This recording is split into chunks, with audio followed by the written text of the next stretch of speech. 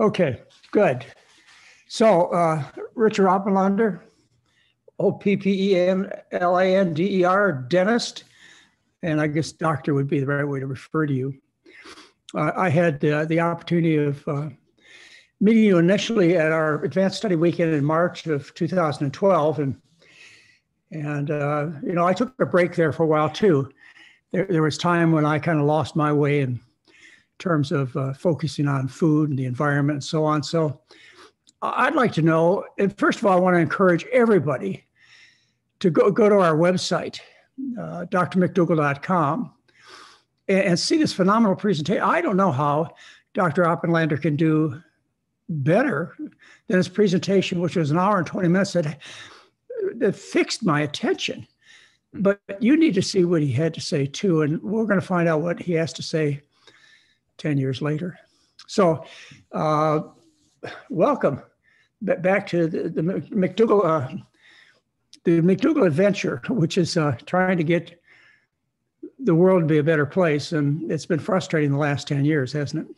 It sure has. It sure has. And I, you know, I, I greatly appreciate the, the introduction there and, and uh, the encouragement because it's, there's a lot of work to do. And, and, you know, I think the comprehensiveness of what I, what I had presented at your uh, wonderful event remains remains the same. It's just the numbers have changed. You know, perspectives have changed a little bit, and I think the dynamics of solutions have changed a little bit. And you know, without creating a great deal of uh, pessimism, the timelines have changed. And and as you know, you know, I I presented very very clear timelines 10 years ago and nothing has changed it hasn't necessarily gotten better by any means. And so the timelines remain the same. We're just slowly diminishing the amount of time we have to really make a big difference, which is why I think it's imperative that everyone, you know, educates themselves, li- listens to people like you, you know, who are one of our true leaders, and um, and make sure that they do what they can to to foster um, a better planet for those that come after us. And I know you really appreciate that thought with your family as well. But you know, you we, we certainly I think it's nearly embarrassing, you know, that that our generations in the last 50 to 100 years are the ones that are responsible for such a massive amount of, of problems in our in our planet. So I think I think the cha- the challenge is education still, but then realizing that the timelines were on demand more urgency, but then you know that's difficult line to walk, isn't it? You know, you you you then don't want to create panic, but you know, in the other direction, if a if you see a child that's out in the you know out in the street and it's about ready to get hit by a car, you run out and grab it. You don't, you know, you get you you you you change the dynamics of that situation. And here, it's not quite as as acute as that. Of course, it's over a long period of time, so we don't see it. It's not you know the damage we're doing to our planet is not right in front of us. It seems like it is, but it isn't. So I think it's up to it, it's up to you and and me to try to try to educate and then try to in a positive fashion find solutions for everybody. But yeah, it's uh, nothing has really changed other than the timelines we're on in the last and the numbers. The numbers have changed a little bit too since uh, that presentation 10 years ago.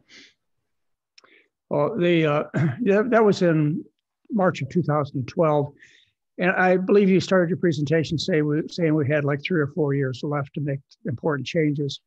The next year, I had uh, Robert Goodland, who uh, is involved with World Watch Institute, who said that 51% of the global warming gases are, are caused by the agriculture industry. And he told us we had three years left. And now I'm dealing with, uh, with some really important scientists like Peter Carter, MD, mm-hmm. who uh, really just thinks the ball game's over. Mm-hmm. And Guy McPherson, same thing, mm-hmm. the ball game's over. Mm-hmm. And, uh, you know, I, I, just can't give up. I, I just can't keep fighting the battle myself. I can't believe, I, I just can't see quitting. And it sounds to me like you feel the same way. How right, can you right. quit? Well, well, you can't. And I think my new message, thank, thank you for saying that. I think the new message uh, contrary to what your colleagues are saying, is that if you really can see the the problem at hand and and then see a, a solution. And the, solu- the, the the clear solution I outline in two separate one and a half hour lectures. You know, as you know, in Stephen Shore's The Real Truth About Health just a couple weeks ago. But but although the timeline we have first of all they're right in a sense that we've exceeded a few of these parameters, these timelines. In fact, I call it global depletion. As you know, there's maybe like nine or ten different categories of global depletion, from freshwater use to land use to climate change and all that. Um, but there are other. I mean, there's scientists that are involved with uh, uh, watching uh, planetary boundaries and creating or, or explaining, uh, um, designating uh, and outlining planetary boundaries, which are the same as really what I'm talking about. And they've all indicated that six out of nine of those boundaries we've already passed. So the issue isn't so much, is it, should we give up? You're right, we can't give up. And so if you, if we pass those boundaries, there is a way to minimize the damage and minimize any further um, uh, planetary issues that we have. For, for instance, just a real quick example about climate change. Climate change it, it is not is not the real problem. It's the we can get our foot in the door now because more and more people. You know that at that um, event that you had 10 years ago, I spent a good portion of that event explaining what climate change was or is. You know, at that time, I, nobody really wanted to talk about it. Nobody really understood it, you know, as a global warming type of uh, discussion from Al Gore. But now, um, many people don't want to do anything about it. And there's a political issue going on there too, a uh, geopolitical issue as well. But the but the foot in, the foot's in the door because most countries realize that right we have passed uh, no matter what we do right now today, according to climate scientists, at least for that one portion of global depletion, as I call it, or planetary boundaries, which we've passed. That one portion, yeah, we we we've already exceeded 1.5 degrees centigrade. We will not get that back down. And even if they, even with the Conference of the Parties uh, targets, even if they're met, it's predicted that we'll likely still reach two degrees centigrade rise, which you know brings up all these other issues. But but there's a way to even change that if we just can change our diet and change um, the political aspect and change the way that we're using subsidies. Um, so, for instance, just a quick example, you know, many people are talking about the one, you know, plant one trillion trees project. Well, that's nonsense because uh, while we're out, I mean, for goodness sakes, the reason we need to plant more trees is because of what we're eating. We cut down all the trees. So the very first thing we need to do is realize that we have to stop, you know, eating what we're eating, stop all animal agriculture completely, period, from terrestrial uh, sources as well as our oceans. And then once we do that, you will you will free up. Essentially, there's about four billion hectares, um, which is about 12, 12 billion acres in the world, that's taken up by grazing livestock and crops to feed them. Well, if you just take all that away, which can can be done, uh, might take five years to 10 years. But if you do that, it's not a trillion trees that can be planted. It's more like 8 trillion to 10 trillion. It's not the amount of, yeah, it's not the amount of trees. It's first we have to stop eating animals and stop all those agricultural systems that are causing the depletion. And then realize that it's not just climate change. It's even if we didn't have climate change, we would still run out of water. We'd still run out of, our, you know, we'd still be deforesting. We'd still ruin our oceans. We'd still have 960 million people that are suffering from hunger each year. Um, climate change doesn't, it, it'll, it's an exacerbator, as you know, and that it's it takes an existing event and makes it worse. We created all these other events you know and whether climate change is here or not the events are still going to take place. The climate change doesn't really have anything to do with us depleting all of our oceans of fish. It, it doesn't. It just makes it worse. So anyway the point is we just got we have to you know recognize what we're doing to our planet then change the agricultural systems because then whatever amount of trees it is it's likely eight to ten times as much as these 1 trillion uh, tree planters are thinking about doing. Um, but you first have to stop, you know, what we're doing with a silly diet that we have with the animal agriculture. Then you can plant the trees, and then you can use, and then those trees, that land that that that those four billion hectares, you can do the math all you want. There's no climate scientist would disagree with me about this. Is that it would equal between five and ten years from now the equivalent of about 108 to 181 gigatons of equ- equivalent greenhouse gases per year of drawing down out of our atmosphere. Well, we're pumping in about the nat- natural causes are about 20 to 25 gigatons per year and then us humans are are anthropogenically are placing in about 39 to 40 so together it's about 65 70 uh, gigatons. So we're going to draw down double that much meaning we can take we can we can use all the cars we want. We'd still be able to well this is not what i would suggest doing but you know we still want to work on fossil fuels but fossil fuel is not the problem If you take away all the fossil fuels, we're still going to have all these depletion of everything else that we've just talked about. But if you can draw down 180 gigatons per year, you're going to not only uh, mitigate entirely all the greenhouse gases that we're emitting, but you start drawing down the you know the 477 you know uh, uh, parts per million greenhouse or carbon dioxide that's already in our atmosphere that we've that we've placed since 1850. So you can see, and it only take 10 years, probably five to 10 years to draw that down instead of looking at, you know, dropping, you know, fossil fuels and, and then working on technology. And, you know, I mean, you know, it's, it's the, the very top of the line right now, uh, the very uh, most engineered uh, carbon dioxide or greenhouse gas um, um, uh, drawdown project is Climeworks from Iceland, and they've they've created one unit that is it costs about 15 million dollars, and it's predicted to take 100 million of those, and over 75 to 100 years to draw down all the greenhouse gases in our atmosphere that exist right now. When you could draw it all down without spending 1.5 quadrillion dollars on it, just by stop eating animals and stop you know and stop the animal agriculture and then reforest all these. In fact you don't even have to reforest although that's in one of my suggested uh, job you know a very positive aspect of this is we can create over 200 million jobs over you know t- between now and 2030 at a tune of, and increase our our uh, revenues to about 3.6 trillion dollars. And that's just not my figures. Those are some things that i had calculated but the world economic forum uh, just uh, uh, had come out with those figures themselves about a year ago. So there's lots of optimism here, but we have to, you know, it starts with like those colleagues of yours understanding too that yeah, we've passed some timelines, but there's a way to even reverse out. I think there's a way to reverse out, you know, climate change. It's not going to it's not going to change the 50% of all coral reef systems that are in danger right now, but it'll but it'll bring them back likely a few hundred years from now, and it'll reduce the likelihood that the other 50% will be gone just by the year 2050, which is predicted it will be. And so there's a lot of optimism here, and you know that, and that's why you and I are not going to quit. That's that's what I want to hear from you because uh, you know the message is out there. Not only are we in big trouble, but nobody's willing to fix it, and, and people need to have some optimism. Uh, yeah, I, I found you know I've had a, a couple of experiences like trying to get the idea that we need to change our diet, we need to become vegans, basically, uh, in order to get a handle on this. Fossil fuels not going to get it, and you know I can't get the newspapers to to buy into it, even to print a letter to the editor. Uh, I went and talked to the American College of Lifestyle Medicine uh, back in October of 2019. They gave me an award, a lifetime achievement award, and you know, I agreed to do to take to accept the award, award, but I wanted to have a little time to talk to the 500 members, doctors, primarily doctors and dietitians who know about a plant food based diet. And you know, it's, it's just so slow, uh, the the change. But you know, I just there's a couple other things I want to say before we go on.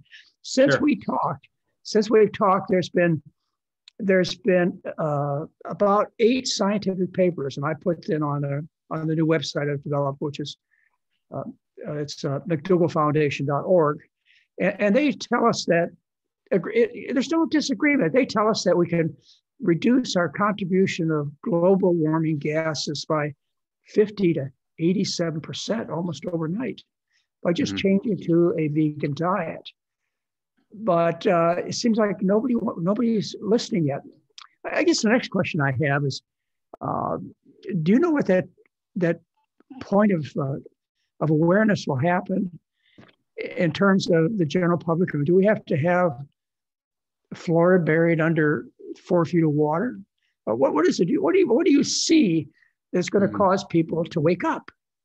Yeah, well, I mean that is that is the answer to that question. Really, is the answer to our our dilemma, isn't it? So my thought is, is that um, I'm gonna I'm gonna go back to what you and I talked about just a few minutes ago. Um, Ten years ago, there was another stepping stone that now I believe uh, we've we've it's, it's still slightly there, but we've passed it, and and that stepping stone has now turned into a, a pathway, like a doorway opening, and that's climate change.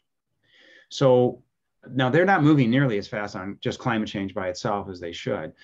Um, and certainly animal agriculture is not even a component of their discussions yet. But um, if you have 200 nations or 195 nations, you know, getting heat from, you know, many different sources that they need to step up right now today about climate change and how can we do this? And they're starting to draft um, uh, now, nothing's binding, of course, you know that, and you know there's there are metrics that are issues. There, you know, there's, I mean, really the COP 26 was pretty much a mess. But the point is, is that there's 200 yeah, there's 200 nations now that are at least realizing that the timelines have been surpassed, and we're and we're really going to struggle here. And, and I feel like the door has been open enough to where, in fact, I spoke to the European Parliament a few years ago before I had to take a step away and um, and I think there's like 28 to 30 countries involved there, and at least half of them wanted me there. they wanted me there to speak, and and had follow up.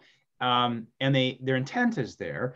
They just need. Um, I think that point of awareness uh, will happen uh, through climate change and through understanding and then connecting the dots to these other areas of global depletion.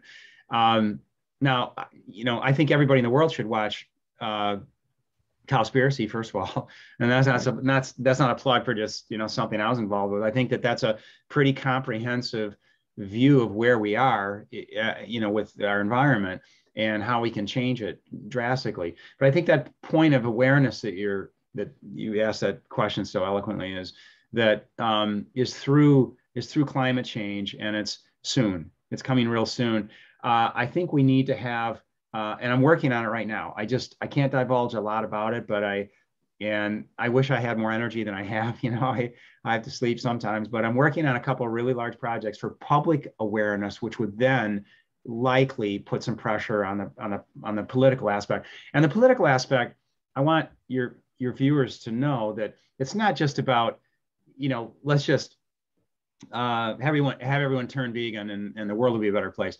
They need to see kind of what I've outlined in those last two lectures about jobs that can be created. And realistically, like you take the, you know, the 39 to 60 million fisher people in the world, and you know, the ones that are coming to you and say, Dr. McDougall, that's crazy because we're gonna lose our job. You know, we can't just stop fishing.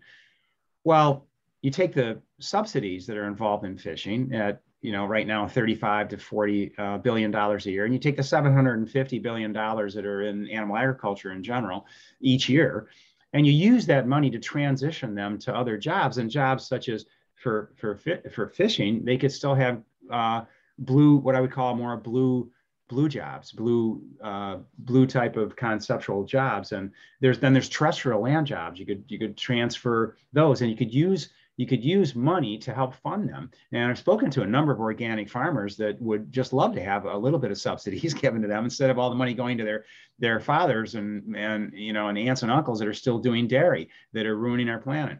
So I think if you put this right in front of politicians and at the same time have a higher uh, public awareness, and there are ways to do that. I mean, I, I it's going to be a large project, but I I've got a few people in the in, in the media, some with really uh, significant platforms. And um, between entertainers to to those in the music industry and i just have to kind of put it together. And i it's my grand idea of you know how to affect as many people as fast as possible to help our planet. And then um, and then put these put these real uh, clear incentives uh, and uh, in front of politicians in terms of well here's how you can generate income and um, now granted i mean you know it might sound like a pie in the sky to some of your colleagues, you know, but we have we have to do it. We have to start somewhere, and we have to do it. And I think that with the door being open from climate change, it should be a whole lot easier now than it was ten years ago. I guess that's my point. I, I hope so, but the intergovernmental panel on climate change this past year, they didn't even mention agriculture as a problem. Uh, no. It, uh, we're, we're, we, we just, you know, the awareness is not there. I've had heard a statement that all we have to do is get the bankers the world bankers involved decide we're going to stop we're going to stop spending the money on destroying the planet. I, I can't imagine mm-hmm. that these bankers are, are not mothers and fathers with children and grandchildren that have the same kind of concern unless yeah. they don't recognize it.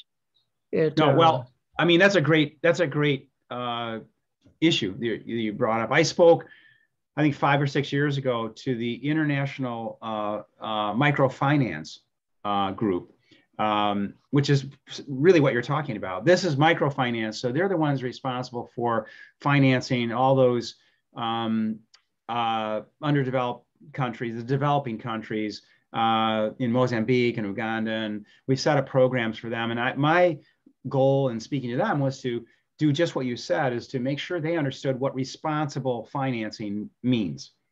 And uh, which cannot mean um, the you know the over guzzling of our resources to then you know when it's all said and done to create further human health issues um, so all animal agriculture has to be out of the picture to to to be uh, to be um, recognized as a as a responsible financial institution so i mean there needs to be that you're exactly right we need to work on financial institutions now where that went uh, I I've just started back again, so I'm just only now trying to. I've been pretty busy just trying to reconnect with these.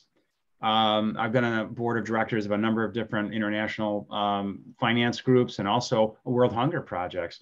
And so I think all this is going to be coming together. But you're exactly right. Uh, we need to, and I I'm big, as you know, on uh, definitions you know what the definitions are of you know sustainable and, and and now we have see we have things in place we have like the sustainable development goals as you know i mean those were originally the millennial development goals eight of them in 2000 and at the heart of those to you know to to eliminate world hunger and poverty and um, you know sickness and, and is is is how to create sustainable agriculture and sustainable food.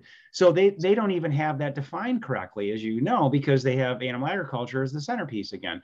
And so we have to make sure that everybody has a universal definition uh, in, involved in that too. And then once that happens, I mean, uh, I think things can roll out from that. But it's a multifaceted type of uh, project. It really is. We need more of you, you know, out there uh, I was just about to say the same thing. We need more of you. But you're you're you're a very attractive person in terms of people would have a lot of respect for you. You have a great smile. You have a way of getting along with people. I just sure hope that you uh, you know that you really get out there and keep trying to make an influence on the public. And I also like the fact that you don't you don't moderate this thing. I mean, you say, look, no. we've got to quit. We've got to give it up uh, we have to make radical changes because you know uh, big changes result yeah. you know, in, in big improvements and, and, we can't do any small changes. You know, can i just take you back from there i just want to know a little sure. bit about you. Uh, when, when did you become aware of the problem? It, you know I, I started out as a doctor as i talked in this uh, you know did the introduction for you 12 years ago or 10 years ago. I started out explaining i started as a doctor. Was totally unaware of the environmental issues, the animal rights issues. You're a dentist. You know, I, I don't know enough about you, but I'd sure like to know more about you. Could you could you just explain to us how you became what do they call it woke? You know, yeah. yeah. Well, first of all, I remember that um, I I, I had the privilege of speaking at your event twice, and I do remember vividly the introduction you gave me, but more so even afterwards, you know, because I don't know if you heard my whole presentation yet, but afterwards you're so kind and so encouraging. Um, and uh, and it is true.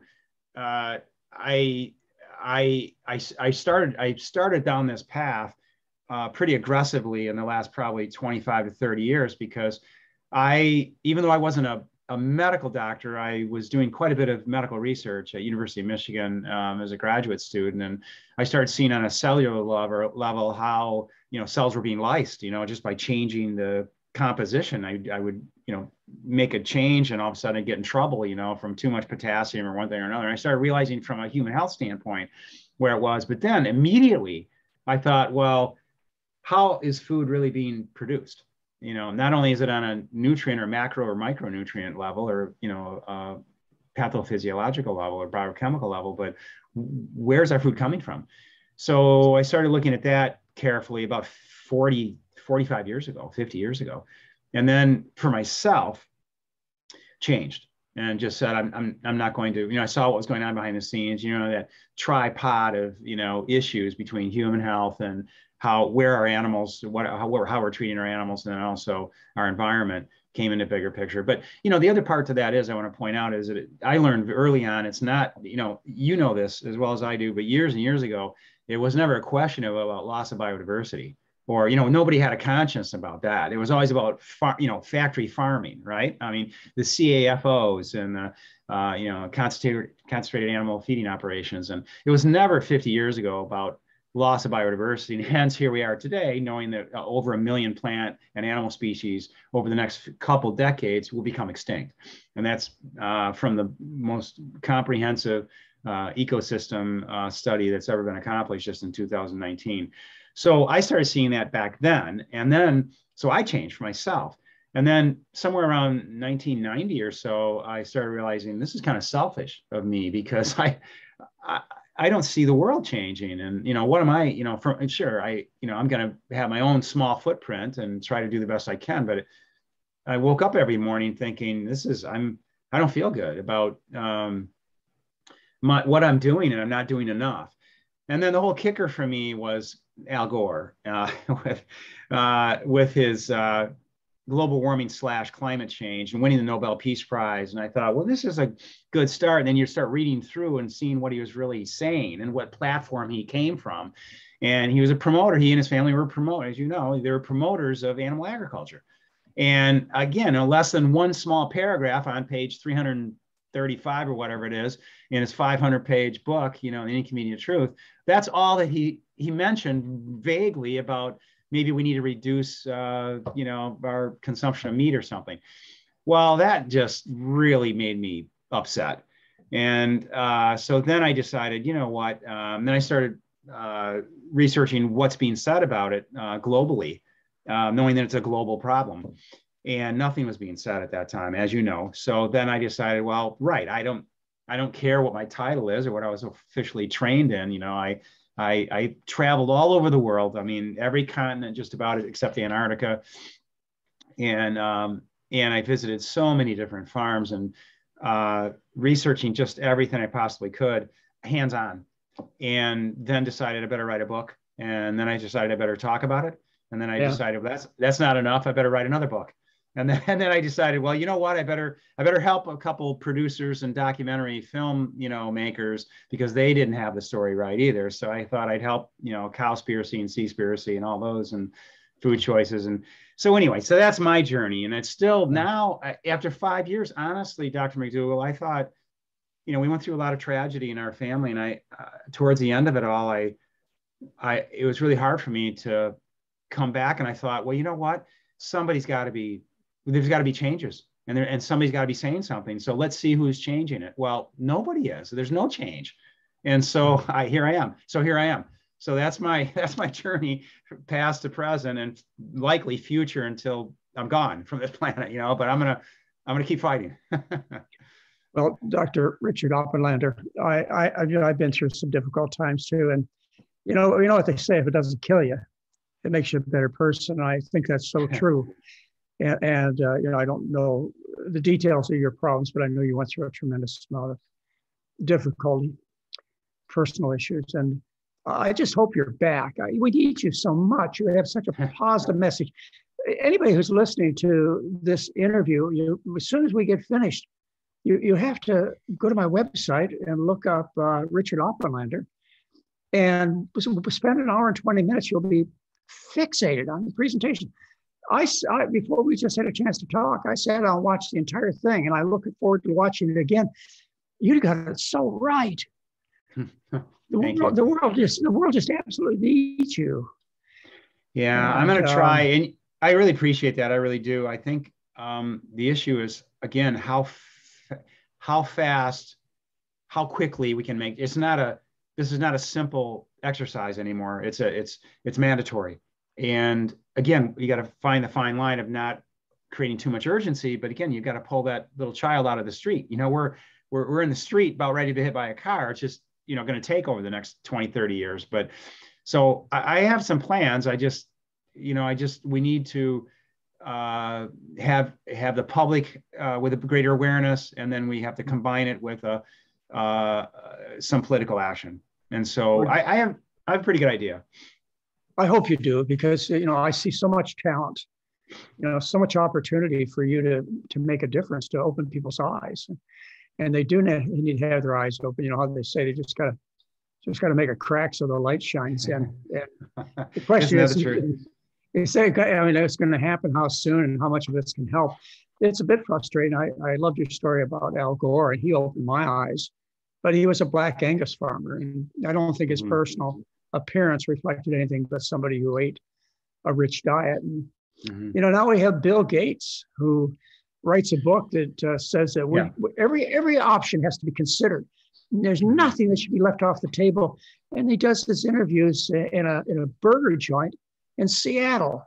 Mm-hmm. Yeah, so you know, yeah. How are we going to? How how are we going to get? Boy, if we right. get somebody like Bill Gates or well, or, okay, or, so that's right, and you, you're you're spot on. I really love the way you think. Um, you're kind of always a, a, little step ahead in, in your thought process of what I was going to say today, but that that's true. Right. So it's a good, no, no, it's great. It's a, it's a good segue. So I was going to say one of the spokes uh, of, of the, of what we need to do of the entire overview of where I think we need to go with this and where my plan is, is how to address those with a platform of influence. Bill Gates, uh, Al Gore, uh, Paul Hawken, who's doing Drawdown. Oh yeah, um, yeah. Th- those are all so. But we first have to recognize, like you said, what their intent is.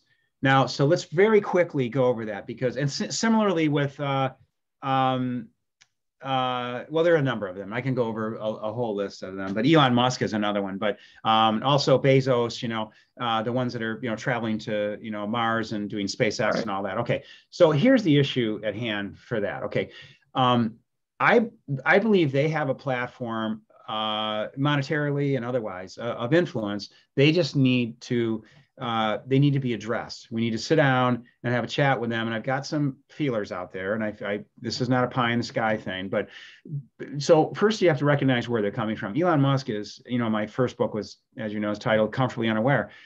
He's a very smart guy, but his mm-hmm. intentions are, are all technology based. He has no real clue about my my lectures. He really doesn't, and he's not doing the right thing. So that just means we have to sit down and have a you know chat with him about it. Then, but the other one is Al Gore. You know, I mean the, the sad issue with Al Gore is, is that he still maintains, as you know, a 40 a 400 acre farm just east of Nashville, and they breed and uh, and breed and raise and slaughter and eat uh, four or five different types of of, uh, of animals and uh, which is unbelievably sad. He calls it regenerative agriculture. So this is a really big topic that I hope you'll invite me back for. You know, we need to talk about this because that's a whole topic in itself. It isn't it? It's a whole topic. Every all your viewers are are caught with this. You know, every day because there's always a, a larger whatever we're working on. There's a larger push with more money for those that just want to cling on to that false sense of of, of needing versus just wanting to eat animal products. Well, Al Gore is doing this with the regenerative agriculture. Uh, uh, so is Paul Hawken. Out of the 82 stipulated uh, uh, methods of, of what we can do to change the world for climate change, only one is related to uh, plant-based food. And even that is a watered down statement about plant forward. That's sort of the new term for uh, eat less meat, which as you know is bizarrely subjective and won't get us anywhere. Um, but he doesn't want to lose his audience. You know, he has a he has the largest funded platform on the web right now for for uh, uh, how to pull out of climate change. It's very well done. It's an eloquent uh, oh, yeah. website. But and you've seen it, I'm sure. But the fact is, some you know, I have some plans. We need to sit down with him and make sure he understands the silvopastoral and the you know the agroforestry and the uh, holistic management and the regenerative agriculture. He has like seven or eight names for the exact same thing of grass-fed beef which as you know is is is pathetically wrong. I mean, there's there's nothing uh, about grass-fed beef that's going to be more sustainable. It uses, as you know, more water, more land. It it it it, uh, it lessens biodiversity um, and uh, creates more greenhouse gases, and it has a higher feed conversion ratio. And I think people need to really understand that, which which all these wealthy people with platforms don't we're running out of land and water and energy and fossil fuel use. And so, you know, if they sat here and really understood that grass-fed beef that they're propo- they're proponents of are, you know, they have a footprint of about 70 to one in terms of how how much uh, um, uh, feed goes in to produce one pound of what they call food, you know, afterwards, which then, as you know, and everybody, you know, all your audience knows from your great work that is just promoting ill health. So, and and and in the other direction, you can have one pound of, you know, just pick like broccoli. One pound of broccoli will produce 16,000 pounds. One one pound of broccoli seeds will produce 16,000 pounds of broccoli. It's like the reverse out. It's like, it's really unbelievable the difference in efficiencies of land use. And yet, here's one of those six out of nine planetary boundaries that we've already surpassed so, you know, which is which is land use or land system change. So how do we how do we correct that? You know, it's it's kindergarten. So somebody needs to sit down like me or you, which I have full plan, plans to do with these people like me Paul too. Hawken. Yeah, yeah, you're gonna join me. Paul Hawken, Elon Musk, and Bill Gates is another story. So he's just invested. This is a huge topic. He's just invested quite a bit of money in um, laboratory uh, produced meat cellular, you know, meat. Yeah. Um, and um, because that they think, you know, Bill Gates thinks that's the way of the future. At the same time, he's doing that though. He's promoting livestock um, in uh, countries like Ethiopia, where Ethiopia is already suffering from poverty and hunger and ill use of land, and they have the largest herd of of uh, livestock in in Africa. So it's a it's a it's disgraceful really what bill gates is doing with developing countries and what he's doing with developing or de- helping to develop uh, laboratory meat which along with regenerative agriculture is considered the wave of the future again because people just want to hang on so badly to that false sense of needing meat um, but he thinks it's healthy for the environment it's healthy for human health you know for human health and he thinks it's uh, um, you know, ethical. Well, they use fetal bovine serum. That's not ethical. And as you know, they have this this faulty cell line that's proliferating, you know, exponentially. And and and what's that? We don't know. I mean, I'm not I'm not advo- I'm not stating that it's going to cause cancer, but why would you want to do that? And and the statement that the uh, say Josh Tetrick is also uh, pushing a, a, billion dollars worth towards cellular meat. Um, you know, his statement is, "Gee, now we don't have to use all the all the we don't have to cut down forests and use all the water because now we don't need need the animals. Well, we could just use cells of the animals. Well, again, I, I don't know where he's been since like the Neanderthal days, but we've never needed animals, you know, to eat, you know, healthy or to protect our planet. So this whole idea of cellular or laboratory meat is backwards as well. So the point is, we have to address these people with platforms of influence and um, in a couple different ways. There are a number of of people who can affect the public that are entertainers and musicians and and these wealthy individuals um, that I I plan to you know I have a, a, a, very broad whiteboard plan and I just have to kind of keep moving it forward and I I just started a couple months ago so I'm hoping I, I, get it going. I know you did. I know you did, but you're such a powerful person. I, I think you can accomplish these things that you're talking about.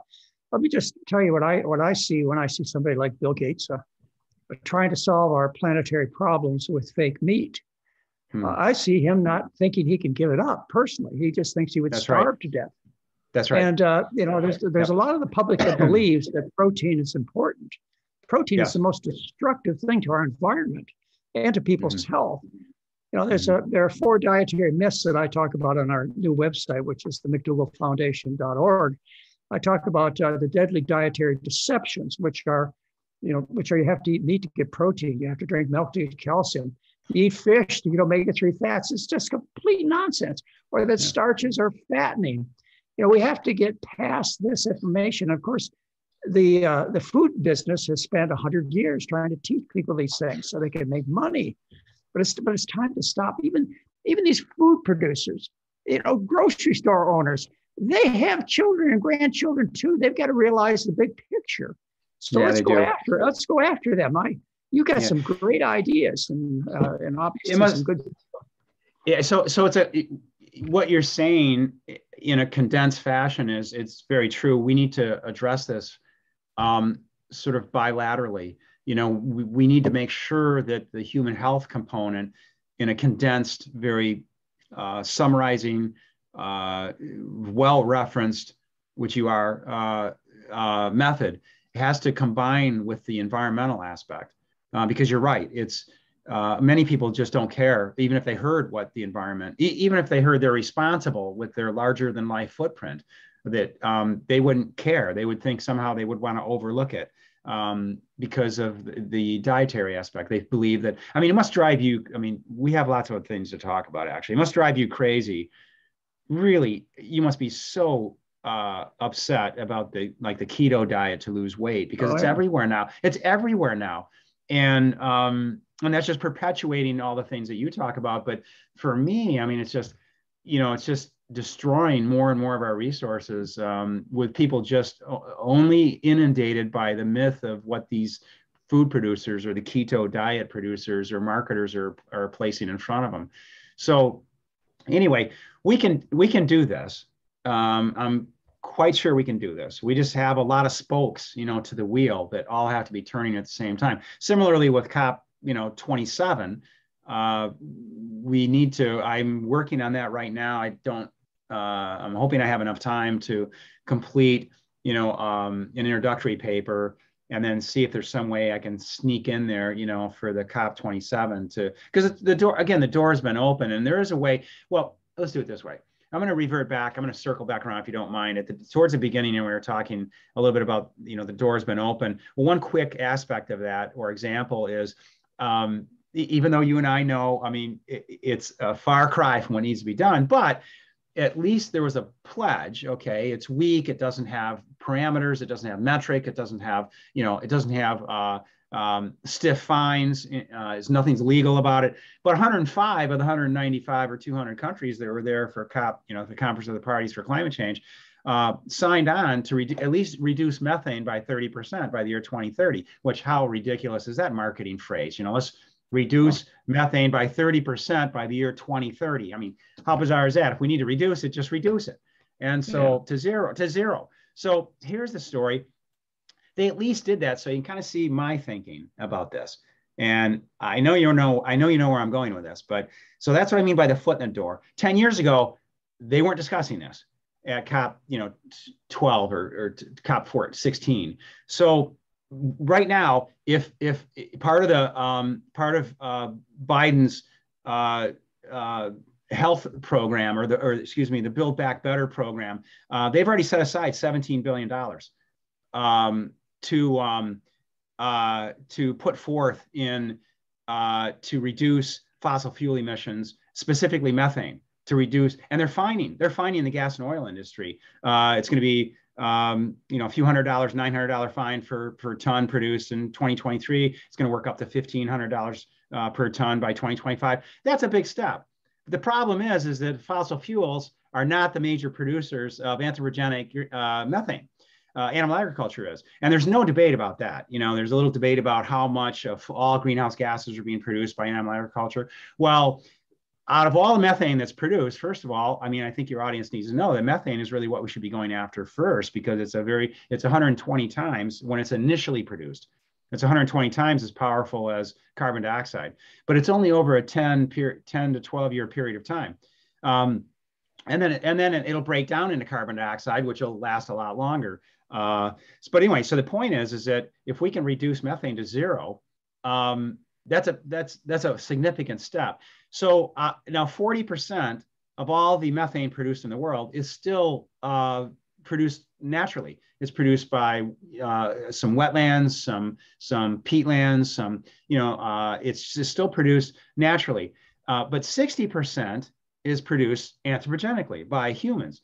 Now, of that, so that's the one we want to attack because Earth, the our Earth is our planet has always had a nice way of of balancing out methane and a little bit of carbon dioxide that's produced by volcanoes erupting every once in a while. It's always absorbed some into our oceans, let some go in the atmosphere, some into the trees that we are losing quickly. But it's always balanced out about 20 to 26 gigatons per year for, for thousands and thousands of years. Okay, well, now we're pumping in two to three times, as I said at the beginning, two or three times that much anthropogenically. So Earth, uh, the planet can't absorb anymore. So that's all going up into our atmosphere, and that's what's causing essentially climate change. So the issue is, is that if 60% of all the methane produced is by human human causes, uh, over half of that is from animal agriculture. It's not from gas and oil and from coal, where Biden and his team and everybody else has, and all the 105 countries are pledging, where they're attacking, they're attacking gas and oil, and that's fine. But they just don't want to talk about animal agriculture. So that's that's what I meant by the foot in the door.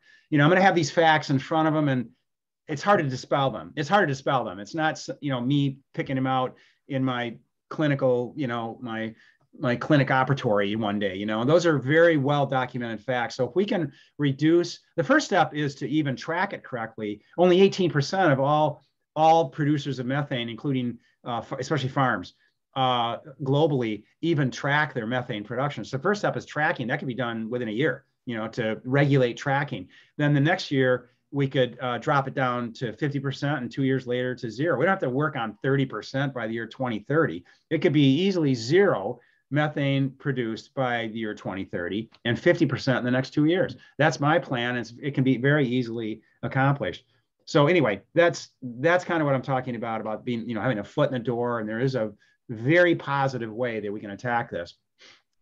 Well, you know, I, one of the things that I have recently learned uh, that I think the public should be aware of is that if we uh, if we concentrate on fossil fuels and eliminating them as the first step, uh, we're in big trouble. And the reason is is with fossil fuel burning, you create particulate matter up in the atmosphere which reflects sunlight, and that particular matter it, it disappears in a matter of a few days. And if that disappeared, you weren't reflecting the sunlight uh, back into the the uh, into outer space, and instead it was absorbed, we would increase our we'd increase the, the, the heat in this planet by at least that one centigrade. So we we yeah. really have to take care of the diet of people on the planet as paramount. Not that we shouldn't be working on reducing fossil fuel. I don't just don't see the public giving up their cars and turning off the electricity. But I can see them changing their diet, you know, because of awareness of animal rights and abuse and and because of the terrible health of people around the world, the obesity. You know, it's all yeah. the same thing. You, you, you, know, you're eating the planet to death. Well, you've eaten yourselves to death too. And it's yeah. also it's so so simple. It makes sense that plus people like potatoes. They like starch. They just yeah. they just have been misguided, lied to. Yeah, they love potatoes. That's very true. Well, in on that note, uh, the most significant aspect of my uh, educating the educated uh, yeah. is is actually to to have a 15 minute TED talk slash European Parliament. You know what I did with them presentation that actually presents all the aspects within minutes of the current state of our planet undeniably and then that it's not climate change that it's not just climate change but that's the foot in the door say hey here's the problem here's how we can re- here, not not just adapt to that's this is the term that's being used by politicians and united nations that we have to adapt to this and be resilient. We can actually mitigate it complete mitigation within a couple of years. So so it's the presentation of the current state of our planet, uh, what what timelines we're on, meaning we've already surpassed six, uh, and how to reverse them out, uh, or start the steps toward reversing them out uh, beyond our our uh, at least get the steps in order beyond our uh, you know beyond our generations, and then present to them all all those aspects of global depletion that all can be you know how can these be corrected just by changing your diet and and agricultural systems? So so in other words you know because it's all fragmented right now and then it's being squashed by the by the agricultural systems the industries themselves. So not only is the education being squashed but the comprehensiveness of the easy the, the ease of understanding this is being squashed. Like those and those you know politicians that are receiving you know money from uh, the meat and dairy industry um, don't really understand uh, also what it's doing oh. to our oceans and they don't understand what's doing to our water. They don't understand what you know so if we can present this correctly and then look at how these farmers can still make money. And you know like some of these i'm not going to read them all off but you know if they understood that there are many aside from me just my own uh, uh, uh, extrapolations and calculations the world economic forum which is you know highly regarded has come out with similar figures just in the last two years. And and they've calculated that um, throughout the whole throughout the whole spectrum there's more than what i'm talking about. There's also in the energy sector and infrastructure um, but just agriculturally speaking there could be 200 million new jobs and transition transition jobs created globally that can produce 3.6 trillion dollars just by the year uh, 2030 just by transitioning jobs from current agricultural systems uh, whether it's fishing industries in our waters or on land our you know our uh, meat and dairy industries. And and these are by reforesting desertified areas degraded areas you know nearly 60% of all of our uh, soil has already been degraded. And the united nations even came out with a statement a few years ago um, they believe that 90% of all of our soil will be gone just in the next 60 years. Well why well, it's because we've deforested because of animal agriculture, and then we've created erosion. And then we try, we're still trying to stampede, you know, with these grazing, you know, all these lands with uh, stampeding, uh, even if they're not, even if they're. I know somebody will be listening that's involved in regenerative agriculture will say, well, he doesn't know what he's talking about, about that. Okay, well, let's say you're casually or carefully, tactfully rotating. It's it's called you know uh, uh, rotational grazing. Let's say you do everything according to Joel Salatin and you know uh, Allan Savory's techniques and now Paul Hawken.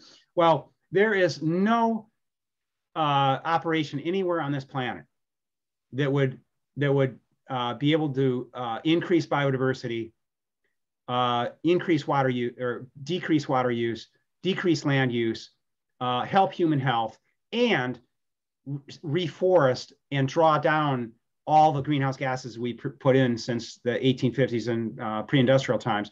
There's no no agricultural systems that could even touch plant-based systems, and that those are facts. There's not somebody's opinion. Yeah. And um, so anyway, I think once we do that and we place this in front of you know politicians and place it in front of United Nations and COP27 and then start some of these public awareness programs that I'm talking about. And I'm not talking about just Dr. McDougall and Dr. Oppenlander talking in a library, which would be good.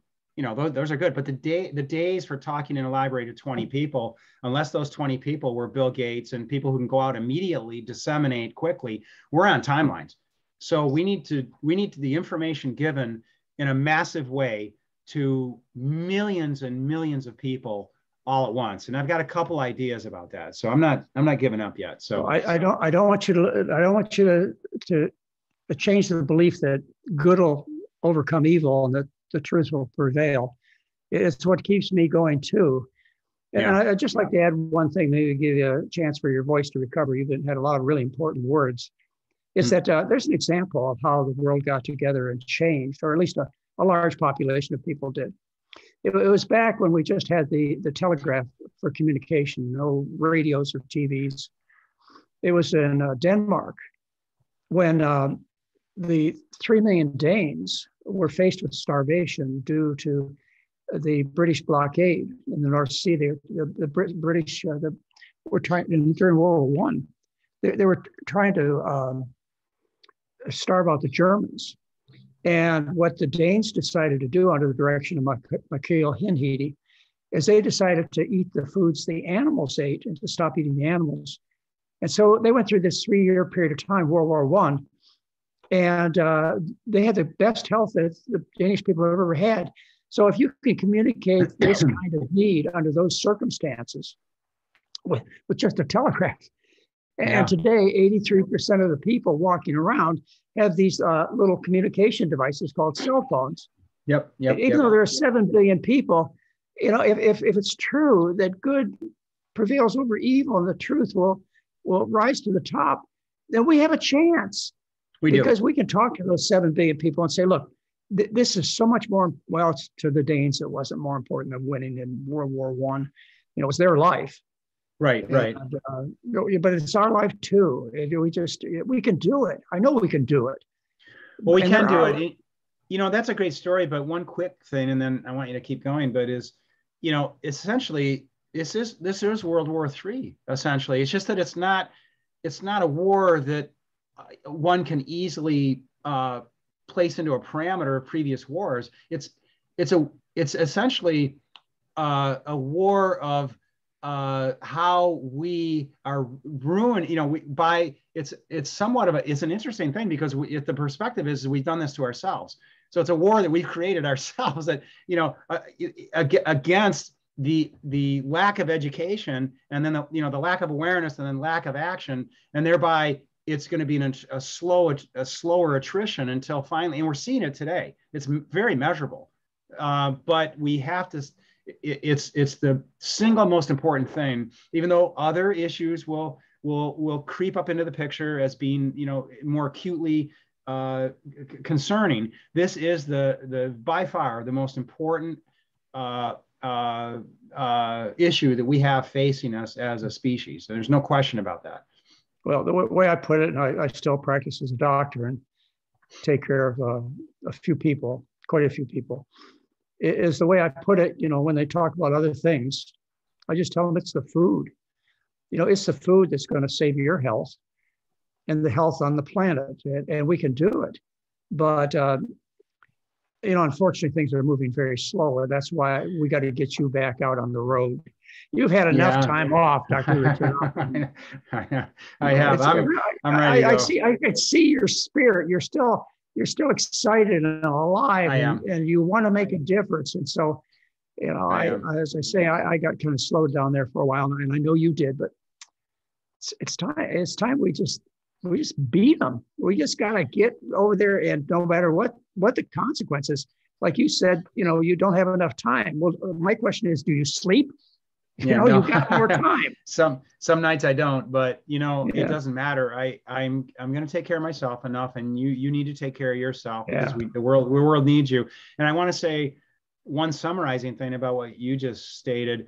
Um, it is true. It's it's a it's a one two or one two three punch essentially. I mean, individuals, as sad as it is, they have to know how some how a change is going to affect them personally and how it's going to check uh, affect their pocketbook for instance which is sad. But those are all those all can be answered quite nicely. I've got that written up into one of the spokes as well.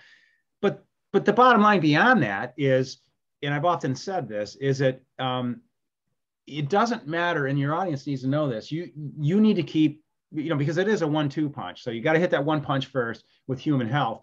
But it really it, it, it- but at the end of the day long term it doesn't matter how healthy you are if our planet's not healthy. You you you could be the you could be the healthiest person in the world but if our planet by the time another generation goes by is going to have all those of that drastic effects of climate change have you know right now a 40% uh, shortage in wa- water uh, water scarcity is going to be 40% uh, less water by just the year 2030 we're going to have you know millions of species of ants and uh, plants and uh, animals um, that are going to be extinct uh, which we owe you know we it's our it's you know we're the stewards Oh. here. We owe them a greater life than that. That's uh, So so sad, sad. It's so Yeah. sad. And our oceans and all that even unrelated to climate change you know it's our responsibility to make a healthier planet for those children and grandchildren and those those people who come after us. We don't want to be we don't want to be the generation that future generations are pointing their finger at saying they knew.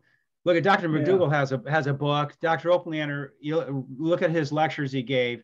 I mean they knew. Why wasn't anybody listening? And look look at where we are now. This is like 50 years from now you know? And so we don't want we want our ethos to be the defining ethos has to be that we recognize what our parents started you know ruining essentially and we changed it and we did we took the steps to change it Uh, you know, the, way- the way I try and put it is that uh, I don't want my grandchildren to ever say, Grandpa, why didn't you try harder? You know, when I gave that presentation at the American College of Lifestyle Medicine back in October 2019, after I gave the presentation, I explained to 500 physicians and dietitians who are completely interested in vegan nutrition.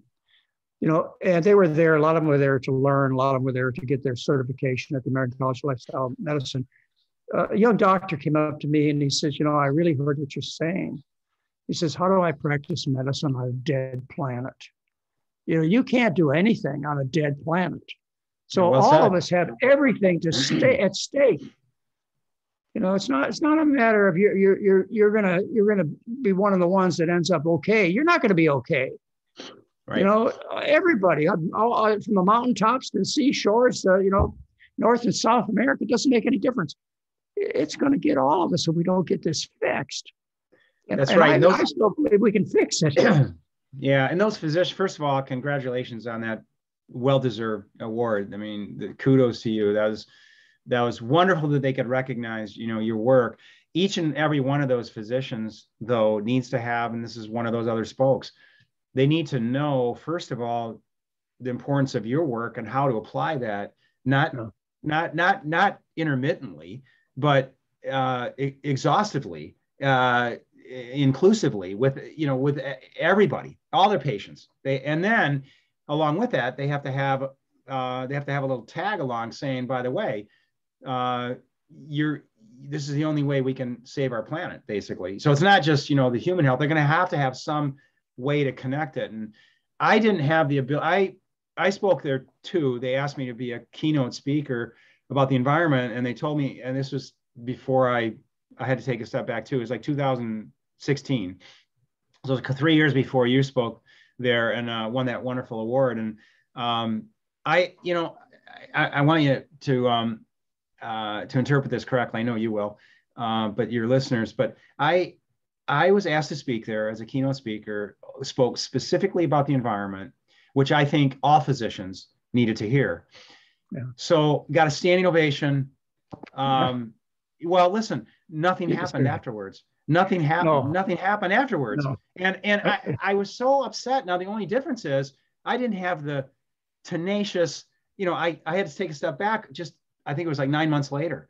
And so, but now I'm back. So I'm going to go after them and yeah. say, here's what we need to do. You know. Absolutely. But anyway this is a group of doctors that know about food i mean that's yeah. all they know about i told yeah. them i said look you guys do not know how to install solar panels you don't know how to build teslas you know, you've got talent. And that's what I ask everybody out there. You've got talents and you've got to express those and, and yeah. make a contribution because the, the truth has become more and more obvious every day.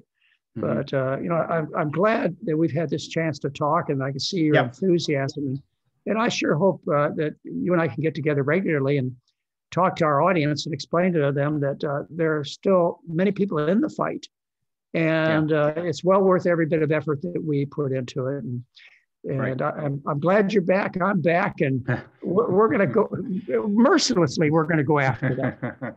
we so, are. You know, I, I, I appreciate this. It's a privilege for me always to to to speak with you, and uh, we have so much more to talk about, though.